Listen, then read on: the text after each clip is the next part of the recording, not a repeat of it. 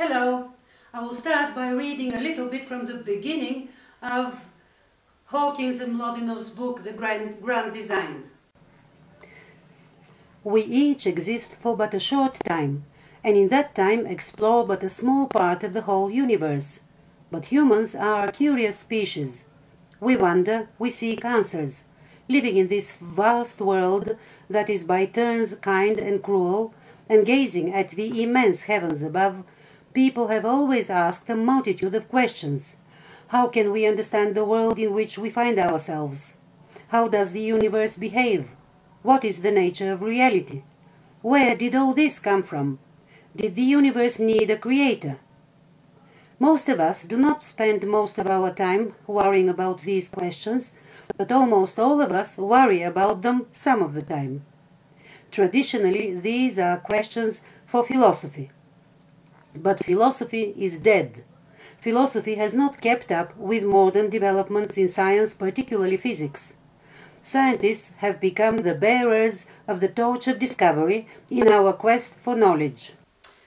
Steven Weinberg, another Nobel laureate, says a similar thing, and several other scientists uh, say the same thing. In these modern times, most of us are perplexed when we hear somebody announce the, his title as a professional philosopher. What kind of a job is that? As a professional philosopher, we don't see companies advertising for the job of a professional philosopher, nor are there official elections for the post in government of a professional philosopher. We have a president, advisors, senators in government we have scientists, uh, lawyers, judges and teachers in society. But in ancient Greece, all these jobs were done by philosophers. I give this explanation for the anecdote I'm going to tell you about a famous philosopher, logician from ancient Greece. A famous philosopher in ancient Greece, let's call him Anaximander, made money by defending cases in the courts, in the Senate. He decided to make more money by teaching students philosophy and logic. The first student he found offered him a deal. He will pay half of the tuition fee in advance and the other half when he wins his first case. Anaximander agreed. The student paid half of the sum in advance, but after the tuition period, he didn't start his practice. So Anaximander couldn't get the other half of the money. So the philosopher decided to sue his student for the rest of the money. And he said to his student, I will definitely get my money because if I win, you will have to pay me the money.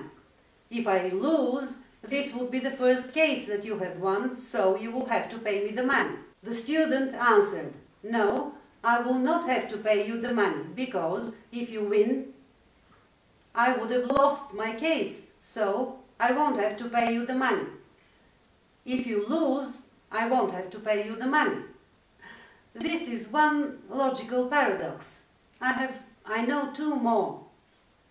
The barber's paradox.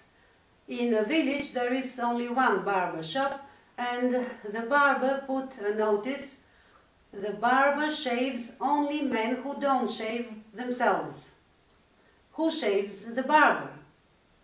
And I remember another paradox. Frege was a famous mathematician and logician he wrote a book about logic and about set theory but just before the book went out of print, uh, Bertrand Russell sent him a letter, so Frege had to um, put some explanation in his book and detract some of his uh, conclusions in the book about set theory. What Russell wrote was the following. Imagine a set of all sets that do not belong to, to themselves all sets that are not a member of themselves. So this set, is it a member of itself? If it is a member of itself, remember it is a set of sets that do not belong to themselves, that are not members of themselves. So if, it, if this set is a member of itself, it cannot be a member of itself.